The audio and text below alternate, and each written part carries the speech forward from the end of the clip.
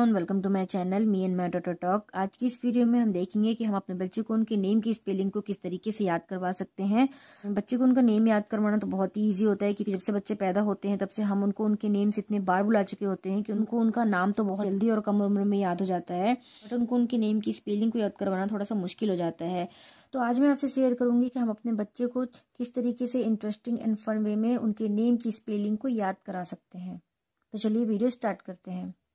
हम सबने बच्चों की नर्सरी राइम कहीं ना कहीं सुनी होगी और बच्चों को ये नर्सरी राइम बहुत पसंद होती है।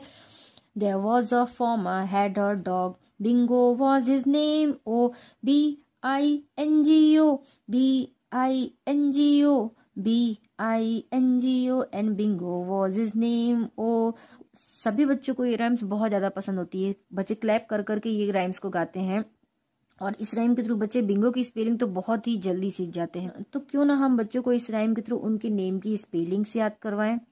तो इस राइम में आप बिंगो की जगह अपने बच्चे का नेम ऐड कर दीजिए और उसके साथ गाइए, गुनगुनाइए और देखिए कि कितनी जल्दी और आसानी से आपका बच्चा अपने नेम की स्पेलिंग को याद कर लेगा।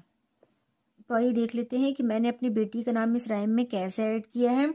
There was a girl who like to play and Misha was her name oh M E E S H A M E E S H A M E E S H A and Misa was her name. Oh.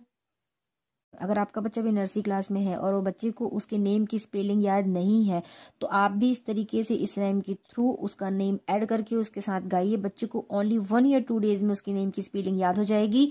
इसे try ज़रूर कीजिएगा। अगर आपको मेरा ये video पसंद आए helpful लगे तो इसे लाइक करिएगा। मेरे चैनल को सब्सक्राइब ज़रूर करिएगा। आज की वीडियो में इतना ही।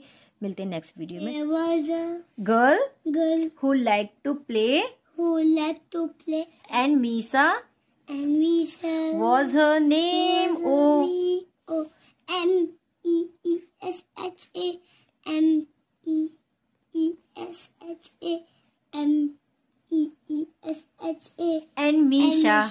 Was her name O? And Misha was her name O. And